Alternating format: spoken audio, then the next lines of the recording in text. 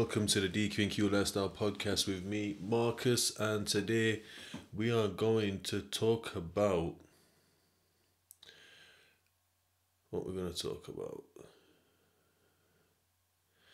justification.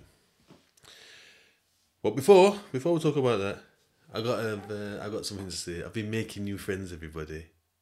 Everybody, I've been making new friends in gym and that. I'm still getting compliments in the gym. It's hard to, if you know me, you know that man's been slim all my life. You know what I mean? I go to gym, get a little bit in shape, whatever. I haven't been gym for a year. And then it's July now. And then from Christmas till about March, March or April, put on a couple more stone. Got to like 17 and a half, couldn't believe it. No. At Christmas, I was just over 16 stone. Christmas, just over 16 stone. I've just come back from gym, by the way, so I'm a bit sweaty. Tanking right now. Just over 16 stone, and then by March or something, I was like 70 and a half. It was like, whoa. And then obviously I went back to the gym and everyone's saying you big. No one believes that I've just, I'm like three or four weeks in getting the compliments. I enjoy it. One kid said to me, Did I say this yesterday? He goes to me, he was asking somebody, I swear I said this yesterday, I ain't even telling you the story. You know what I mean? I've told so many people. but anyway, yeah, so I've made new friends in the gym. You know what I mean? Feels good, everybody. So yeah, justification. So it seems I was talking, I've spoken before about certain things, certain ways of thinking affecting mental health, but it's not a true mental health issue. It's just the way that we think and how people around us think. And it's not conducive to good mental health. So justifying things. What do I mean by justifying things? I mean, so for example, I've committed this crime, knife crime, but I'm saying, but but they were chatting to me in a certain way. So I've justified my actions. So I've zup zup, you know what I mean? And then I'm not just saying, yeah, that's what I did, and just leaving it there. I'm throwing a butt in. But these men were chatting to me in a certain way, and it can't happen. So that's just a justification. So justifying things allows you to keep being in a state of how can I say it? Just basically allows you to keep doing what you're doing. You possibly know what you're doing is wrong and it's not right, but you'll say, Oh, I did that because they did this. Or yeah, I shouldn't have done it, but X, Y, and Z. So anytime there's a but because it's like that's a justification for your actions rather than just holding your hands up saying, Yeah, you're right, I shouldn't have done it or I did it. You know what I mean? So justifying things justifying things can like I said, it, it, it just keeps you in that state of, of whatever you're doing.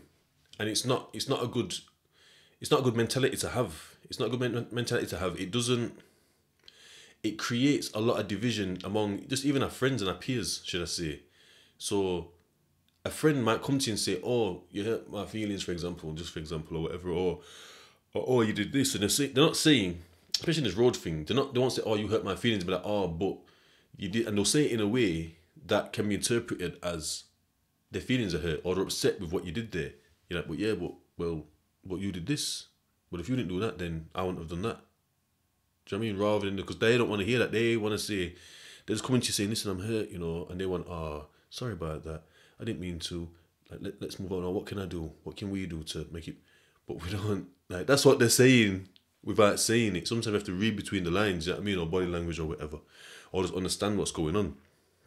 But we're like, "Well, well, you did that." So that's like a big slap in the face for the person that's come to you trying to get some kind of like resolve or trying to get back on some level, like get back on the um, get back where they were because they've been when you're hurt, and like you feel a bit knocked down, don't you?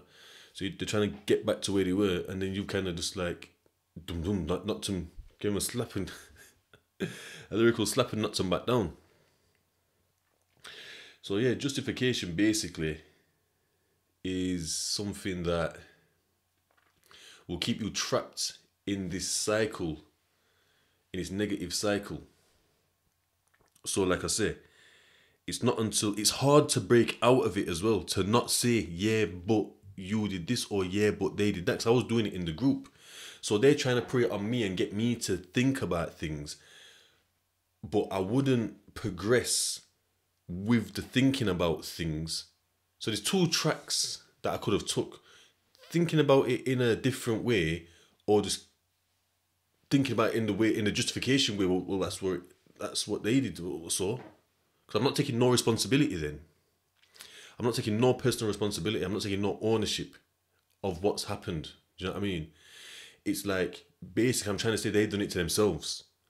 Like, haha, why are you hitting yourself? Like kind of like it's one of them ones really. Do you know what I mean? I'm saying I ain't what are you talking about? Like if they didn't do that, I wouldn't have done that. Forget all that. They could have done what they want. I still didn't need to do that. Do you know what I mean? Unless it was full blown self defense. They're coming at me. It wasn't. Do you know what I mean? In my mind it was, but in reality it wasn't so yeah, so when they're trying to like get me to go down path A of like, yeah, but it was you that did it, and can you see what you've done and how? I'm like, yeah, but I'm still on track B. Like track A is just getting cut short, and I'm on like no, they are the reason that what happened to him happened. They were chatting to Badman in a set way, and what happened happened. Basically, in my mind, that was it. That was, and it's not just me that does that. That's how all my bridges did it. Olders, fam, like that's just you know TV things that I watch, music, everyone, everything. My whole world. That's what everyone does. Don't know what you're talking about. They're mad. I'm saying. And yeah, it's just, it's just, uh, yeah. So it's just hard to get out of that, out of that mindset do know what I mean? Because for one, to take blame means that you were in the wrong. And it's hard to be in the wrong when we live in a world where it's so prized to be right. Do you know what I mean? So being wrong then opens the door to guilt. Like or shame. Even worse. Guilt's rough, shame's rougher. You know the ones there.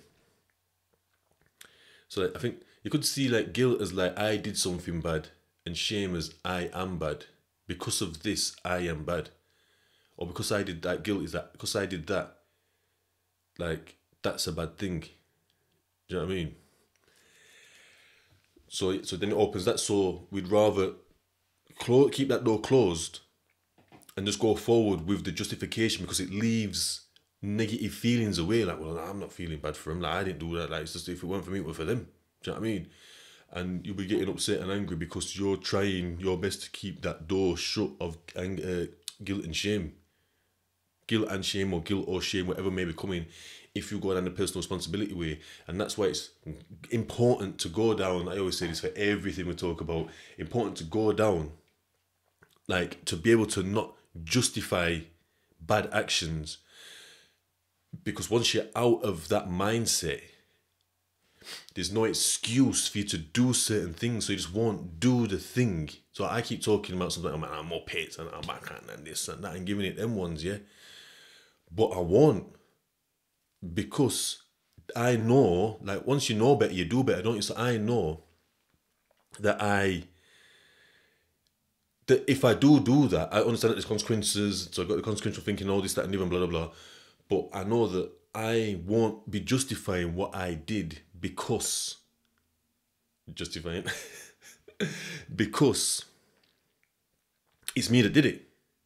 I did it, and then I got the empathy. So I'll be in my, I'll be in their shoes and understood, understood what what they're going through, whether it's just like a little from something from like a little cut or bruise or whatever to something more intensive, like intensive care or something like whether it's in their shoes of being operating on or whatever, or being in one of their loved ones' shoes have seen this. Do you know what I mean?